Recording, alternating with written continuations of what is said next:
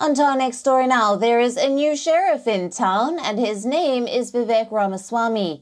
Or so it would seem with the GOP supporters, who seem to be favoring the newest entry to the Republican presidential candidacy race.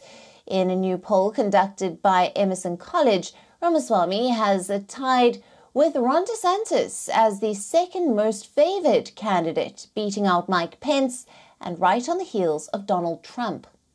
Now, according to the new poll, Ramaswamy, who started his campaign late this February and was only seen to be favored by 2% of the surveyed Republican voters by June of this year, has now overtaken former Vice President Mike Pence.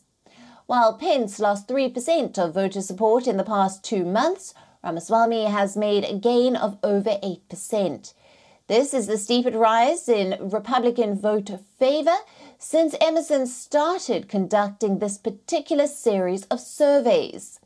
The support for Donald Trump, however, far outpaces the rest of the three hopefuls combined. Sitting at 56% this month, Republican voter support for Trump has not dwindled, staying strong even as the former president remains embattled in multiple indictments.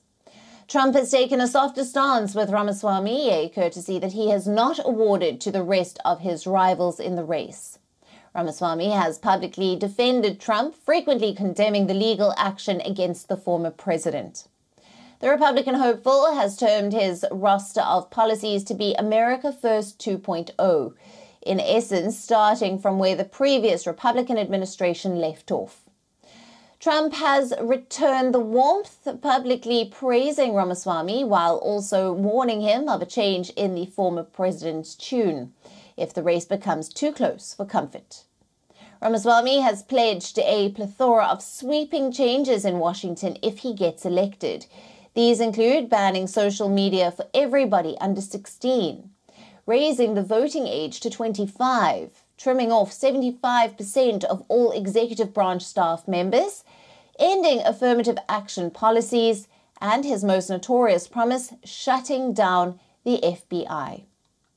Now, Ramaswamy is also a vocal critic of Dr. Anthony Fauci's handling of the COVID 19 pandemic, of climate change activism, and what he terms gender ideology. The Republican candidate has, however, drawn public ire for, for chastising trans kids, arguing that many of those who identify as trans may be dealing with mental health problems. Interestingly, Ramaswamy has opposed a federal abortion ban, a point most Republican candidates have argued in favor of. While Ramaswamy has made significant gains in recent months of polls, it remains to be seen if he can maintain this momentum throughout the campaign. Given the latest data, Republican voters may soon see Ramaswamy's standoff against DeSantis.